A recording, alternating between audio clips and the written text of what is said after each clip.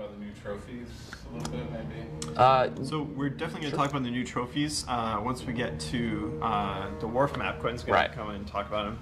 Um, for now, we're just going to go over to coal mine and play a match there. so this is what I was saying earlier. This is my favorite map in the new uh, the new map pack. Uh, So this is the loadout uh, Quentin's going to use. Uh, it's kind of a long-range loadout. Um, he's going to do hunting rifle, uh, nine mil. Uh, he's using the launcher, which is great. Coal mine, it's a, uh, you know, has some longer sight lines. Uh, and launcher's going to help him take guys out behind cover. Uh, he's got explosion expert to increase the radius of that um, those explosions from the launcher. There we go. And he's also using awareness, uh, so he's going to see enemy name tags pop up uh, longer range, and whenever he gets shot, he's going to see those name tags for 10 seconds.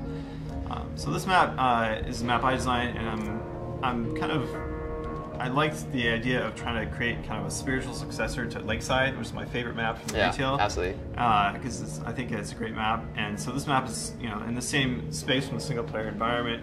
Uh, it's a snowy uh, it's a coal mine area, and so there's this kind of mix of outdoor and indoor, and there's a mix of long range and short range. Right. And so I think what, what this map does pretty well is that it gives you a lot of contrast. It's, you know, instead of just picking you know one loadout and saying, okay, like this is my medium range loadout, I'm going to do fine. This is a this is a map where you really have to mix things up because sometimes you go outside and there's some longer sight range sight lines, and then you go inside and it's a much tighter Yeah. experience. And then they're very different experiences too, because once you go inside uh, those these uh, warehouses and stuff, it's just uh, it's a very interesting experience uh, compared to the to the fronts that you're gonna get on the exterior. Sure Absolutely. thing. So uh, right off the bat, he's got kind of two big choices. You can go left to the outside upper area, or you can go right into the um, to the coal mine area, what they would call the generator room, or you can go down the middle, uh, which is kind of a, uh, little more open, but it's got this uh, bridge over the top, which is one of the big power positions of the map.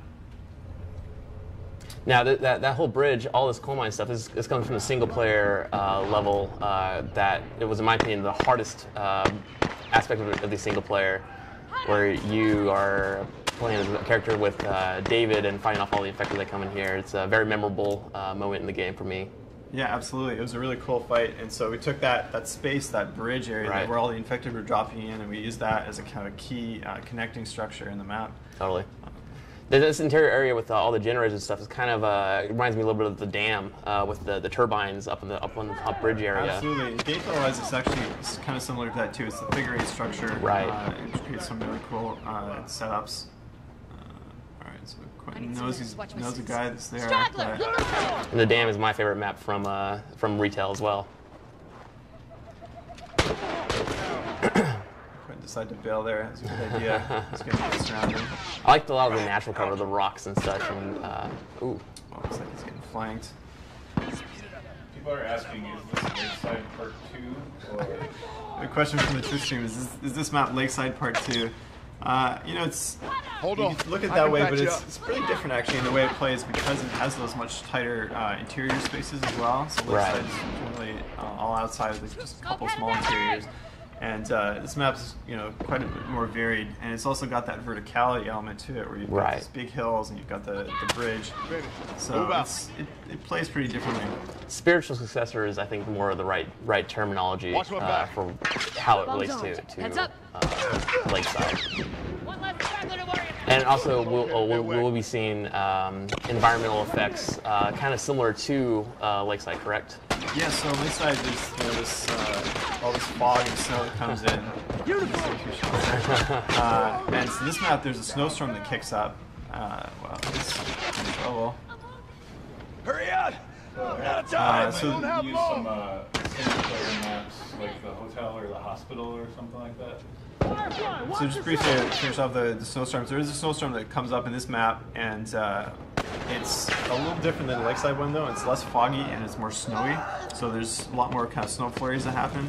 Um, and it doesn't obscure your vision to quite the same distance, and it's a little more atmospheric. Um, we had a question from the Twitch stream about how come we didn't use some of the other single player uh, environments like the hospital. Uh, we certainly prototype some of those spaces. Uh, one of our other designers um, actually started a prototype, but uh, ultimately, uh, you know, we decided to pick spaces that we felt would translate best into gameplay. And some of those spaces, like the hospital, were you know. Uh, extremely heavy on the interiors and multi Right. floors and stuff, and you know they didn't work as well. So We pick we pick locations that really lend themselves to good combat or good gameplay because ultimately uh, um, our multiplayer is about our gameplay and we want to pick the best you know locations possible. Ooh, nice snipe. Yeah, so you can see here this outdoor area is a little longer slide lines. One less to worry. Oh, get the launcher. Launcher Nice. Execution. I think the the, the launcher's got to be my favorite gun in the new Yeah? uh, yeah the new It's, DLC. it's a great gun. It's just very situational. You have to use it very carefully Yeah. uh, to make use of it.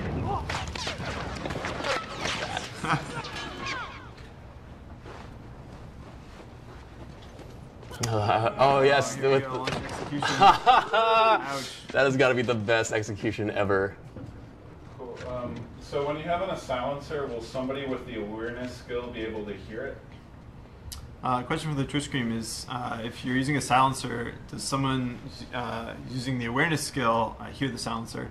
Um, there's no difference actually in how the uh, awareness affects uh, the sounds of silenced weapons. You're going to be able to hear them the same distance as any other player. They're still going to um, not show up on the radar for those players. Uh, what awareness really gives you is that uh, visibility in the space of can you can you spot who the enemies are quickly in that space.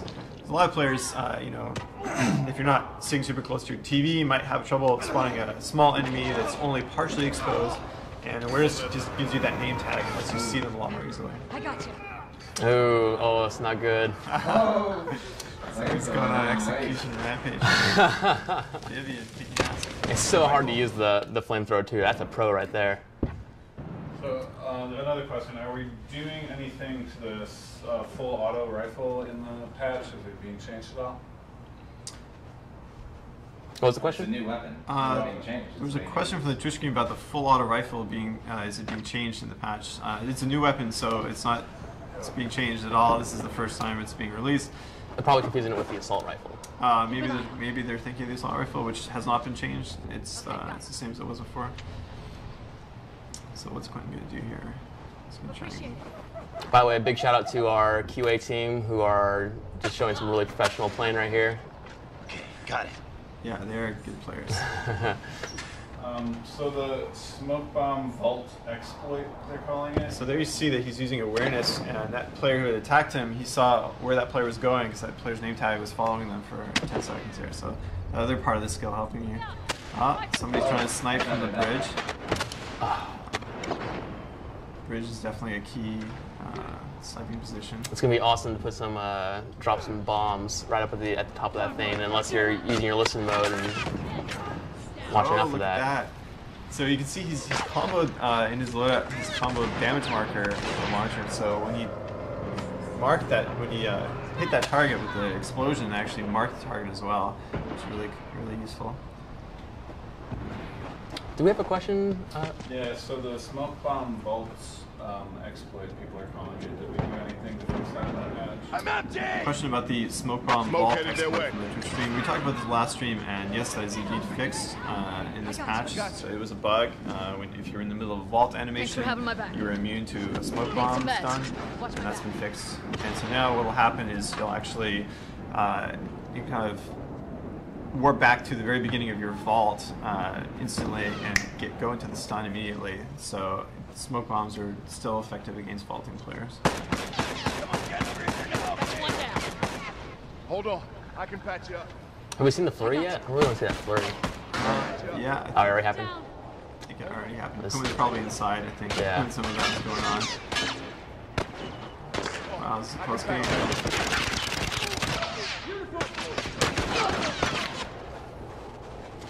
Yeah, the cool thing is even though like it, it you know it's very similar to Lakeside, it still ha- you can still tell a very very huge difference between the two maps. I don't think we'll ever people will ever you know get confused between the two maps you know at all. Especially with a lot more like kind of industrial um, Keep an eye out. stuff like these trucks and machinery and stuff. Yeah, absolutely. So Quentin's trying to gear up his launcher here, just reloaded. Uh, where's he going to use it? Keep an eye out. Oh, Got it. people on the bridge. Can you get that off? So he's going to try and go up there and shoot into the bridge, which is a small area, so he'll probably get a lot of splash damage. Oh, nice. That guy fall down? Oh, Oh, he think went down. I think he jumped He out. jumped down right as he got hit. So that's the other cool thing about the bridge is if you're in trouble, you can just bail and jump out the window there. I still heard the, the he took damage though, even though he was vaulting out. That's true. Yeah. Yeah. Splash, no. Oh, beautiful. Q Train. That's one of my that's my, my second favorite execution right there. After that awesome launcher execution. yeah. That's great. So Aaron, uh, you weren't here for the, the question, but what's your favorite uh, map of the new uh, Reclaimed Territories map pack?